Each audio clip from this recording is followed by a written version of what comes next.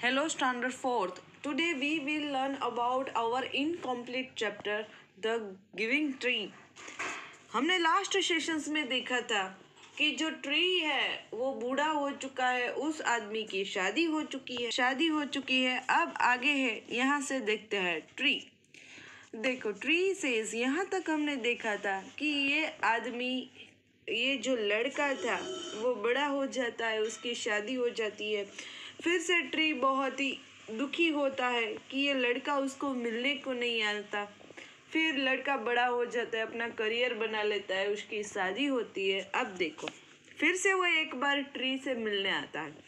Tree says come boy come what can I do for you तो फिर ये पेड़ है, फिर से उस लड़के को पूछता है कि बोल, तू मैं तुम्हारे लिए क्या कर सकता हूँ? यंग मैन, देखो, अब ये बॉय की जगह क्या हो गया? Young man. बहुत बड़ा हो चुका था ना। I am going to on a business trip I want a boat to take me away can you give me a boat अब देखो, ये लड़का जब भी आता था, इस पेड़ से कुछ ना कुछ माँगता था और ये पेड़ भी कुछ दे के खुश होता था। अब ये बड़ा हो गया है। यंग बॉय यानी कि ये लड़का बड़ा हो गया है और पूछता है कि मुझे अब बिज़नेस ट्रिप पर जाना है। क्या तुम मुझे बोट दे सकते हो? वो इस ट्री को पूछता है। तो ट्री बताता है all I have left is trunk cut down my trunk and make a boat. Then you can sail away. तो ये बेचारा पेड़ उसका भी रास्ता बता दे तो ये पेड़ उसका भी रास्ता बताता है और कहता है कि तुम मेरी जो लेफ़्ट साइड है ट्रंक, उसको काट डालो फिर उस लकड़ी से तुम बोट बना सकते हो फिर उसको तुम सेल, यानी कि बेच भी सकते हो narrator the young man cut the trunk of the tree and sailed away in a boat. The tree was left only with a stump.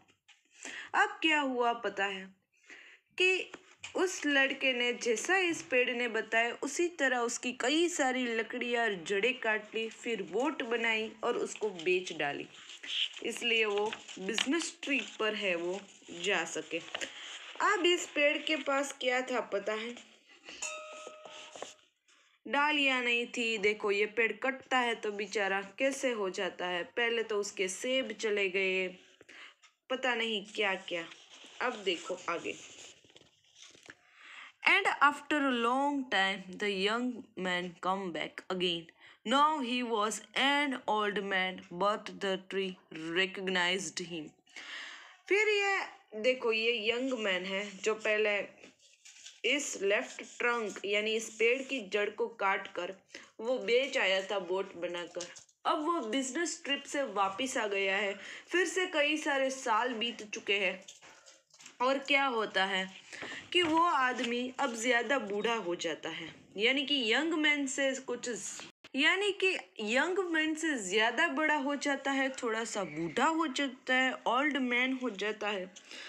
फिर भी ट्री उसको पहचान जाता है कि ये वही पहले बच्चा था, फिर यंग मैन था, अब ये उससे भी ओल्ड हो चुका है tree I am sorry friend but I have nothing left to give you my apples are gone तो ट्री कहता है कि जब ये बूढ़ा बूढ़ा होके वापस आता है तो ये पेड़ कहता है कि मुझे माफ़ कर देना।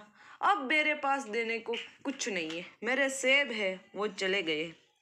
यानी कि पेड़ पर जो से, सेब है वो चले गए हैं। Old man my teeth are too weak for apples तो ये देखो आदमी ये जो पहले यंग मैन हुआ फिर ये बूढ़ा हो गया और ये क्या कहता है कि मुझे सेब तो चाहिए भी नहीं, क्योंकि मेरे दांत खराब हो चुके हैं तुम्हारे सेब खाते खाते कोसता है tree My branches are gone. You cannot swing on them.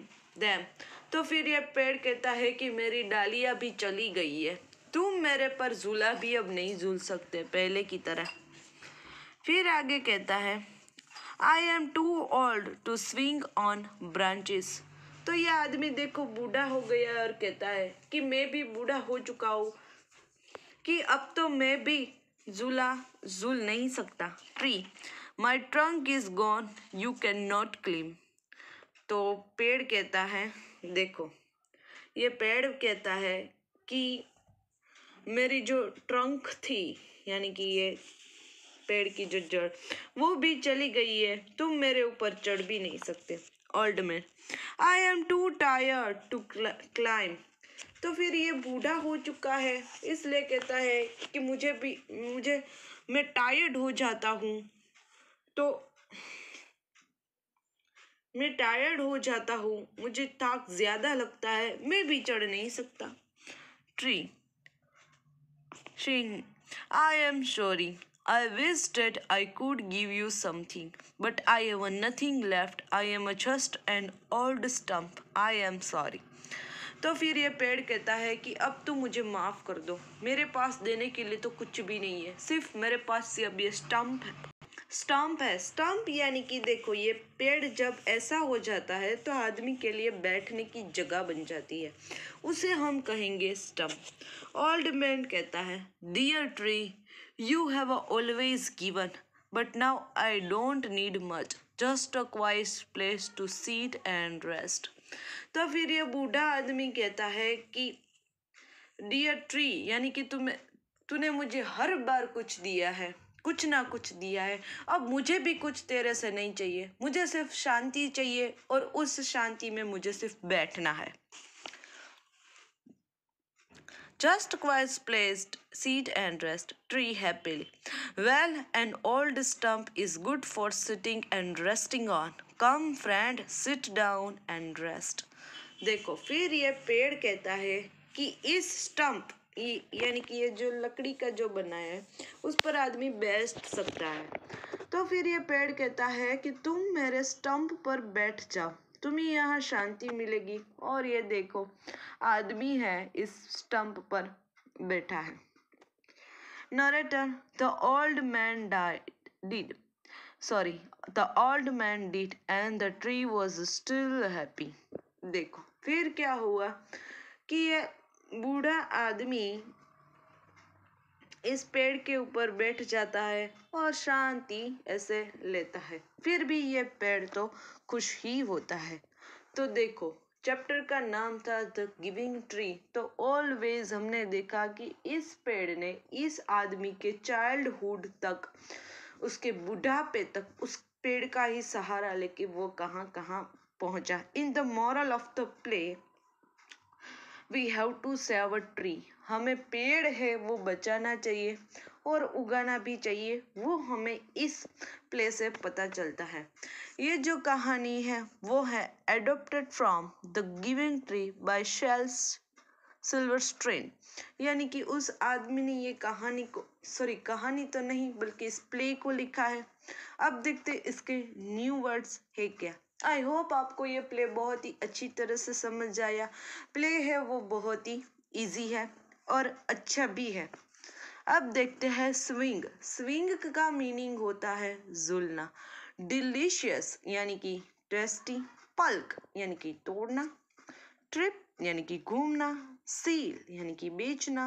Stump यानी लकड़ी का स्टम्प यानी कि लकड़ी का जो बैठने की जगह। रिकोगनाइज्ड यानी कि पहचान लेना। रिकोगनाइज्ड का मीनिंग होता है पहचान लेना। तो ये थे इस चैप्टर के न्यू वर्ड्स अब हम देखते हैं इस चैप्टर के आगे के जो वर्ड है वो। अब देखो reading is fun first how did the boy enjoy the company of the tree यानी कि ये बच्चा ट्री की कंपनी को कैसे इंजॉय करता था।